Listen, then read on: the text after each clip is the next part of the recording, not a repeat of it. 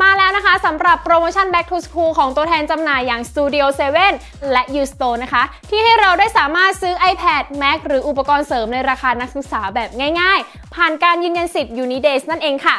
และสำหรับใครที่เป็นลูกค้าของ Studio 7 Thailand อยู่แล้วนะคะ ก็สามารถเข้าไปที่เว็บไซต์ Studio 7 Thailand ได้เลยค่ะ แล้ว Unidays คืออะไร จะมีวิธีการสมัครยังไง จะมีวิธีการสั่งซื้อยังไง เดี๋ยวเราตามไปชมคลิปนี้กันเลย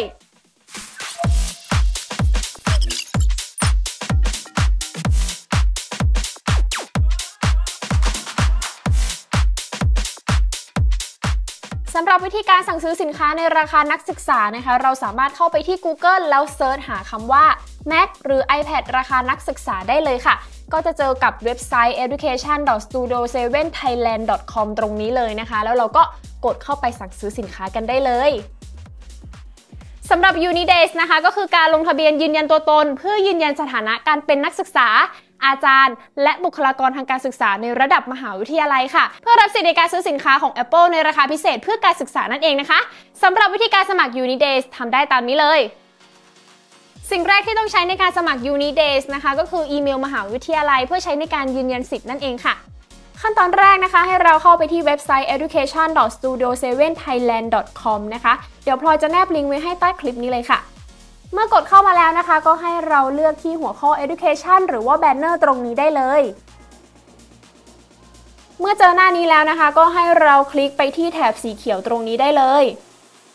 พอเข้ามาหน้านี้แล้วนะคะ เราก็สามารถอ่านรายละเอียดเพิ่มเติมสำหรับวิธีการสมัครได้เลยนะคะ หรือว่าจะสมัครไปพร้อม ๆ กับพลอยก็ได้เลยค่ะ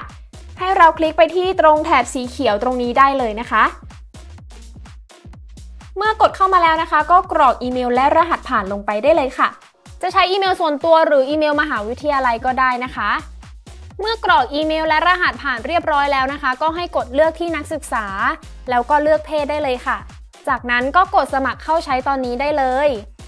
เมื่อกดสมัครเข้าใช้ตอนนี้ไปแล้วนะคะ ก็จะมาเจอกับหน้านี้ค่ะ ให้เรากดใช่ขอเข้าร่วมด้วยคน ขั้นตอนที่ 2 นะคะ จะเป็นการยืนยันสิทธิสถานะการเป็นนักศึกษาหรือบุคลากร ให้กรอกชื่อนามสกุลนะคะ แล้วก็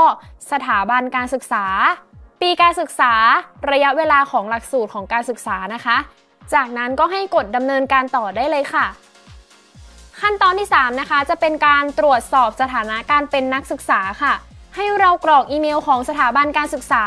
แล้วก็เลือกสถาบันการศึกษานะคะ เมื่อกรอกเสร็จเรียบร้อยแล้วนะคะ ก็ให้กดส่งอีเมลไปได้เลย ขั้นตอนที่ 4 นะคะ เข้าไปยืนยันบัญชีผู้ใช้ Unidays ในอีเมลของสถาบันการศึกษาค่ะ เพียงเท่านี้นะคะก็เป็นการเสร็จสิ้นขั้นตอนการสมัคร Unidays แล้วถัดมาขั้นตอนที่ 5 นะคะ ให้เราทำการขอรหัสส่วนลดนักศึกษาด้วยการสแกน QR code ตามภาพที่ขึ้นอยู่นี้เลยค่ะ จากนั้นนะคะก็ให้ลงชื่อเข้าใช้ Unidays เพื่อทำการเก็บรหัสส่วนลดนักศึกษาค่ะสำหรับรหัสส่วนลดที่เราได้มาแล้วนะคะ ก็จะมีอายุการใช้งานประมาณ 1 ชั่วโมงค่ะพอแนะนำว่าใครที่ได้รหัสส่วนลดแล้วนะคะ ก็ให้รีบไปใช้กันได้เลยเมื่อเราได้รหัสส่วนลดนักศึกษามาแล้วนะคะ เราก็สามารถเข้าไปช็อป Mac หรือ iPad ได้เลยค่ะ พลอยจะเลือกซื้อเป็น iPad Air รุ่นที่ 5 นะคะสำหรับราคานักศึกษาเนี่ยเราสามารถดูที่ราคาตรงสีเขียวตรงนี้ได้เลยค่ะ ส่วนด้านล่างก็จะเป็นราคาปกตินั่นเอง แล้วเราก็กดคำว่าซื้อได้เลย จากนั้นนะคะก็กดเลือกสเปคได้ตามต้องการเลย แล้วเราก็กดหยิบใส่ตะกร้านะคะ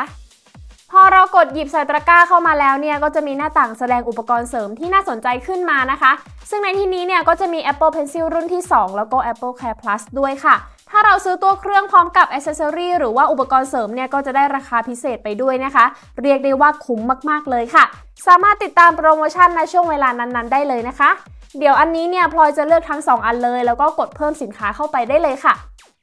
เมื่อเรากดเพิ่มสินค้าเข้ามาแล้วนะคะ มันก็จะเข้ามาที่หน้าสรุปคำสั่งซื้อค่ะ ให้เรากรอกชื่อมหาวิทยาลัย แล้วก็รหัสส่วนลดนักศึกษาที่เราได้มานะคะ สินค้าที่อยู่ในตะกร้านะคะ ก็จะปรับลดเป็นราคานักศึกษาตามนี้เลยค่ะ เสร็จแล้วนะคะ เราก็กดที่ชำระเงินได้เลยเมื่อเข้ามาที่หน้าชำระเงินแล้วนะคะ เขาก็จะให้เราเลือกว่าจะรับสินค้าที่บ้านบริการจัดส่งฟรีทั่วประเทศ หรือว่าจะเลือกรับสินค้าเองที่หน้าร้านพร้อมกับชำระเงินก็สามารถเลือกได้เลยค่ะ ถัดมาด้านล่างนะคะ เขาก็จะให้เรากรอกชื่อที่อยู่แล้วก็ข้อมูลส่วนตัวลงไปนะคะ เลื่อนลงมาด้านล่างอีกนะคะ ก็จะเป็นวิธีการชำระเงิน ซึ่งสามารถชำระเงินได้หลายช่องทางเลยค่ะ ก็จะมีการชำระเงินผ่านบัตรเครดิต แล้วก็ผ่าน QR code นั่นเอง ซึ่งเราสามารถเลือกได้ตามความสะดวกเลยนะคะและสำหรับใครนะคะที่สนใจ iPad Air 5 ในราคานักศึกษา ทาง Studio 7 เขาก็มีโปรโมชั่นในราคาเพื่อการศึกษามาแนะนำกันด้วยค่ะ สำหรับโปรโมชั่นหน้าร้านนะคะ สามารถผ่อนได้เริ่มต้นที่ 534 บาทต่อเดือน หมดเขตวันที่ 17 กันยายนนี้ค่ะ ส่วนโปรโมชั่นทางออนไลน์นะคะ ก็สามารถผ่อนได้ 0%นานสูงสุด 10 เดือนเลย ผ่อนเริ่มต้นเพียงเดือนละ 1,920 บาทนะคะ แถมฟรีเคสมูลค่า 790 บาท แล้วก็สามารถแลกซื้อ AirPods รุ่นที่ 2 ในราคาพิเศษ 3,990 บาท จากราคาปกติ